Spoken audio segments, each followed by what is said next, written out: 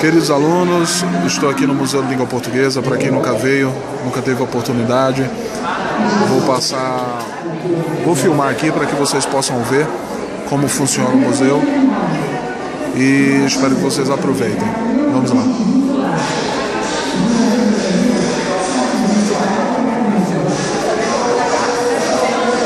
Tem aqui, olha, nesta tela de 106 metros que ocupa toda a extensão da Estação da Luz, retratamos a riqueza e a diversidade da língua portuguesa. Uma língua em constante movimento. A cada parada, uma porta se abre, mostrando um recorte do que temos de mais original. A língua no cotidiano, nas músicas, no futebol, nos carnavais, na culinária, nas relações humanas, nas festas, na natureza, nas religiões e nas danças, além de ressaltar a raiz portuguesa que fundou nossa identidade. Nossa matéria-prima é a palavra, a palavra como som, como sentido, como prática, como senha, como signo cultural distintivo, como argamassa social, como história. Acabou de mudar aqui. Olha aí, olha, mostrando o trem da estação da luz. Vamos ver se volta.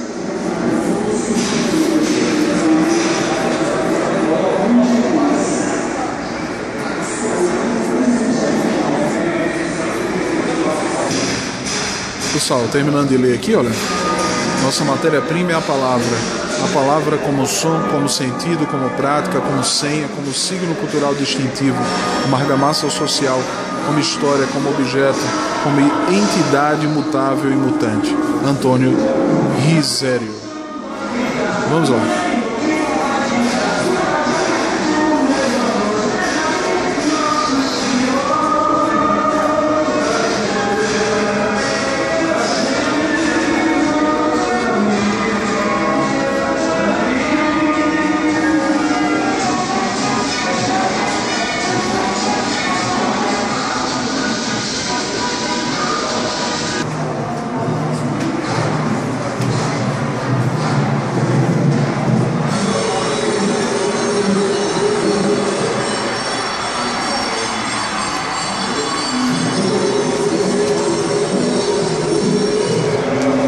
Vai passeando pela história da nossa língua portuguesa, do nosso país, da nossa cultura, percebendo um pouco do nosso Brasil.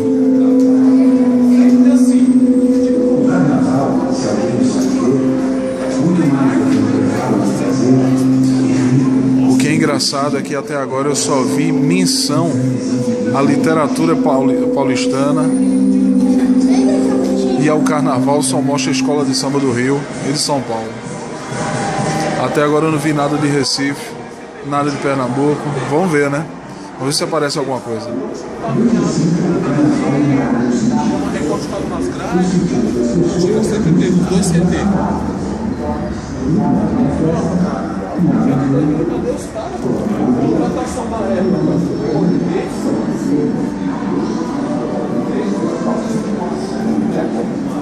Depois, ainda uma forma de estar Vamos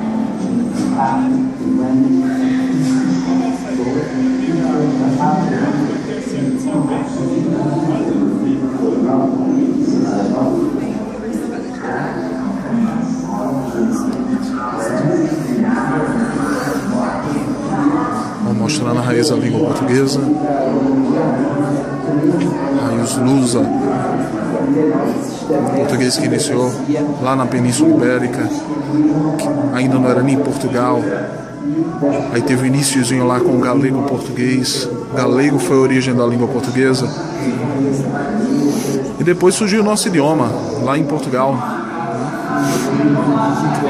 Com muitas influências né, devido às invasões dos mouros. Tá aqui, olha. Coimbra, Lisboa. Os mouros, que eram povos árabes, várias influência na língua árabe na língua portuguesa, influência africana aqui no Brasil. E principalmente, né, claro, influência indígena. Nosso Museu de Língua Portuguesa, para quem nunca teve a oportunidade de vir, pode conhecer um pouco aqui. Claro que estar aqui é maravilhoso, né? mas vocês têm uma certa noção através do vídeo. Em geral, temos minoria continente. Café vira cafezinho. Pão vira pãozinho. Pequeno vira pequenininho. O filho vira filhinho. E o pai faz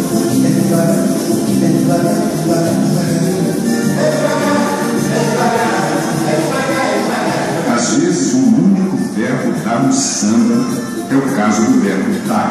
Dá um tempo, dá uma força, Dá mole. dá um Olha aí. Mostrando a polissemia do verbo dar. Dá. Polissemia, gente. Dá. As riquezas da língua portuguesa. A palavra palavrão é o nominativo de palavra. Talvez porque o palavrão tem uma grande força expressiva. Às vezes.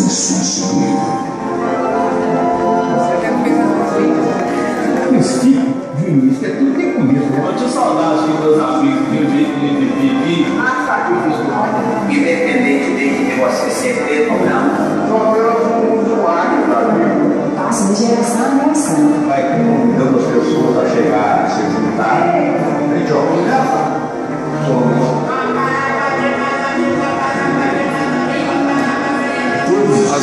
possibilidades da nossa língua no cotidiano, tá aí, olha. As possibilidades, as polissemias, os usos, os sotaques tão comuns e tão conhecidos por, todo nós, por todos nós em Pernambuco, né? Nosso Oxe, Oxente, Vice e outros catais a gente pode perceber outras particularidades da língua.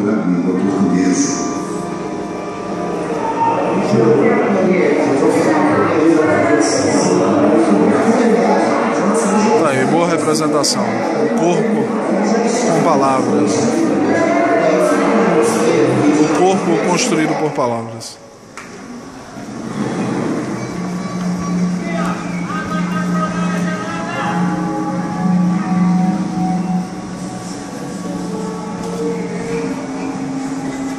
Aí, gente, vou voltando por aqui. Acho que há mais algumas possibilidades ali. Vamos lá.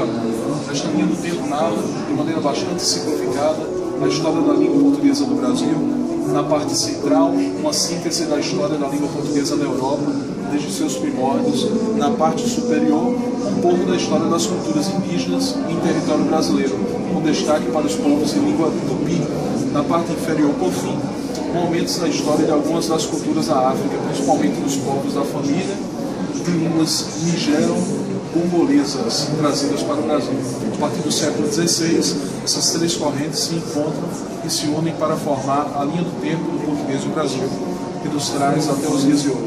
Os fatos, as datas e as ilustrações aqui apresentados são sempre aproximações.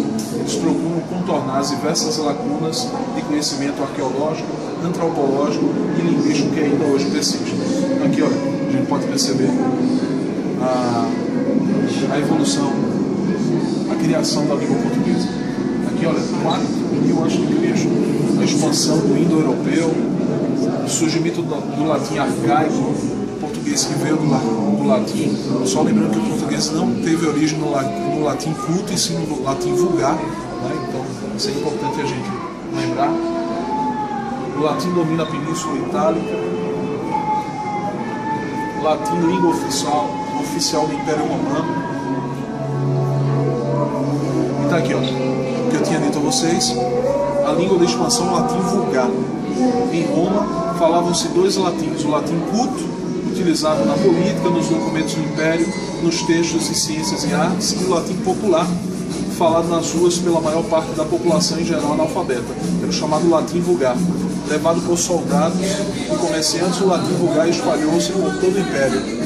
A dele que, ao longo de séculos, foram sendo forjadas as línguas latinas atuais, enriquecidas pelas línguas das regiões ocupadas. É aquela história. Quem deu origem à língua portuguesa foi o latim vulgar. O latim errado, tido como errado.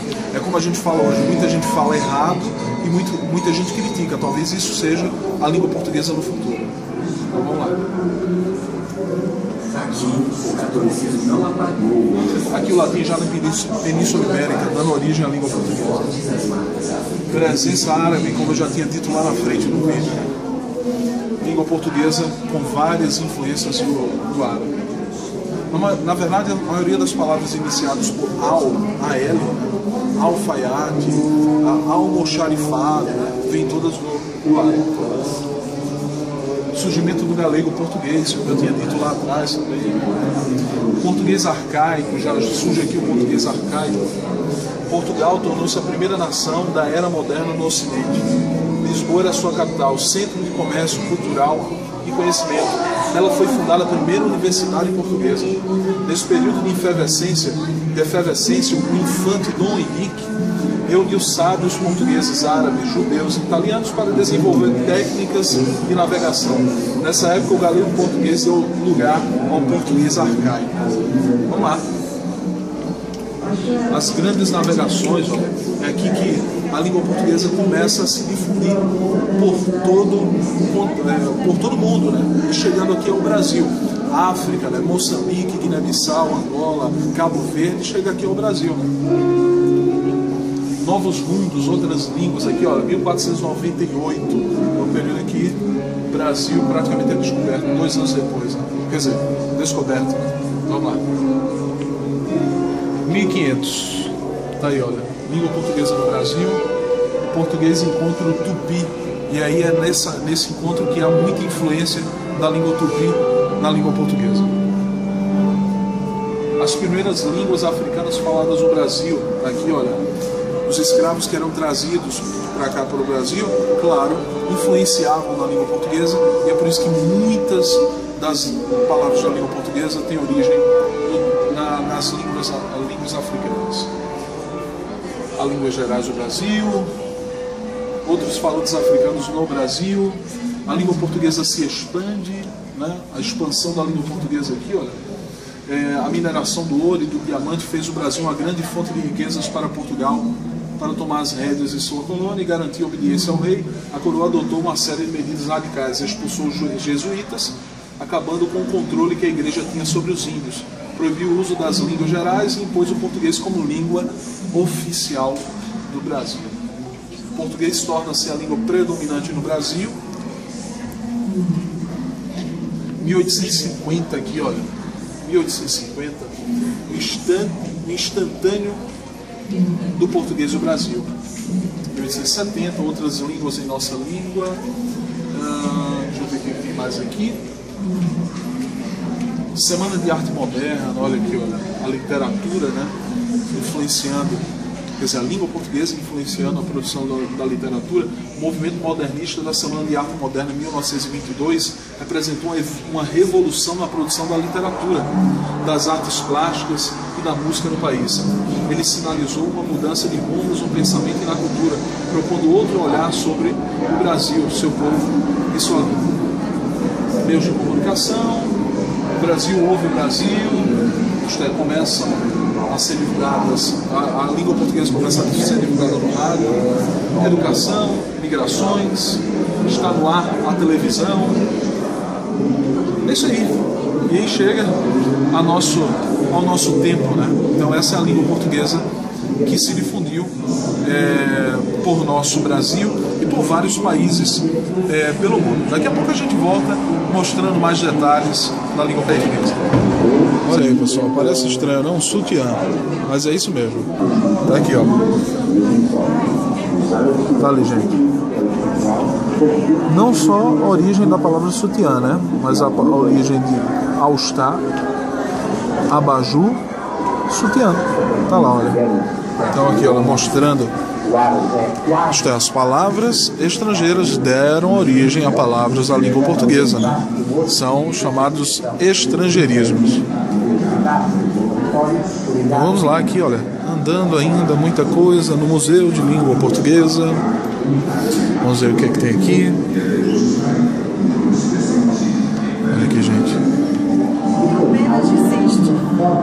Com a expansão, os portugueses tornaram Santo Antônio uma figura de muitos continentes, associando o franciscano de Lisboa a culturas locais. As áreas colonizadas por Portugal estão representadas pela máscara passaporte da etnia Tomá, de Guiné-Bissau, uma aldeia angolana de ébano, uma porcelana de Macau, uma porcelana de Macau e um documento bilíngue português-chinês. Então tá aqui, ó.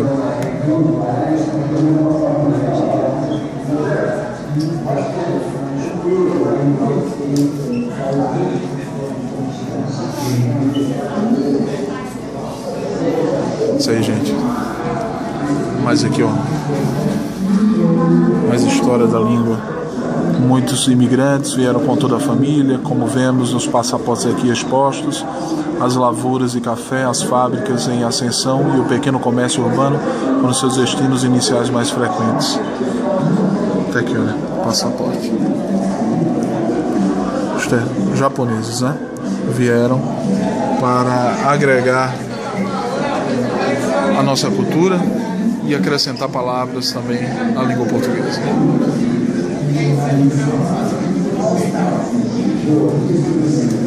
Vamos lá, vamos conhecendo mais coisas aqui, ó. mais história.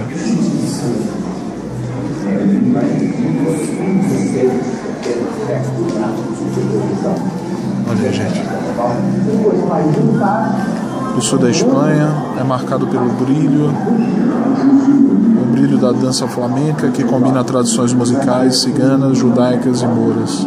Mantilha, sapato para flamenco, brinco de bailarina, peinete. Olha aí, gente. Cultura, cultura, cultura.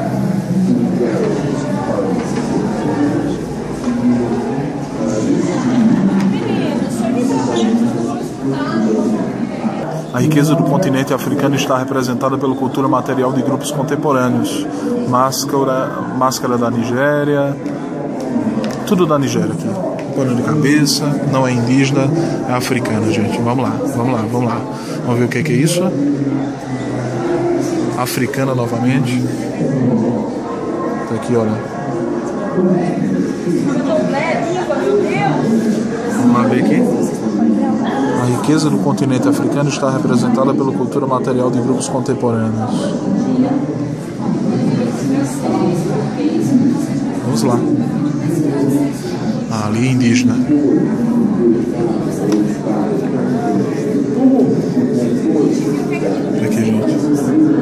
As comunidades atuais combinam sua tradição artesanal com novos materiais, quando demonstra a preferência de muitos grupos pelos miçangas do plástico originários da República Tcheca. Bom, me parece ser indígena aqui. Origem indígena. Vamos ver aqui? Olha aqui, ó. As peças expostas foram feitas por comunidades contemporâneas e traduzem o artesanato cotidiano doméstico e das funções religiosas. Aqui vem uma historinha, olha. Tupinambá, quando em 1500 os portugueses chegaram ao Brasil, na região do Porto Seguro, Bahia, encontraram ali um povo que falava uma língua completamente desconhecida dos europeus. Era o povo tupiniqui, que falava a língua tupinambá. A maioria dos povos que viviam ao longo da costa, desde o Rio de Janeiro até o Ceará, falava essa mesma língua. Foi com a língua tupinambá que os colonos portugueses tiveram contato mais estreito durante o século XVI para entender-se com os indígenas, a fim de conhecer a nova terra e nela viver. Muitos deles tiveram de aprendê-la. Desse contato resultou a grande influência do tupinambá no vocabulário português no Brasil, as nossos de nomes comuns e nomes de lugares que utilizamos hoje em todo o país são palavras tupinambás.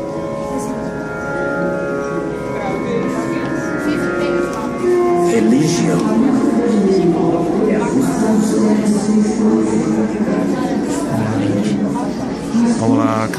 aqui. Bom, é, e aqui eu termino minha exposição de língua portuguesa. Espero que vocês tenham gostado e entre em contato comigo, né, através do meu e-mail professortiagoxavier@gmail.com. Até lá, gente. Um abraço.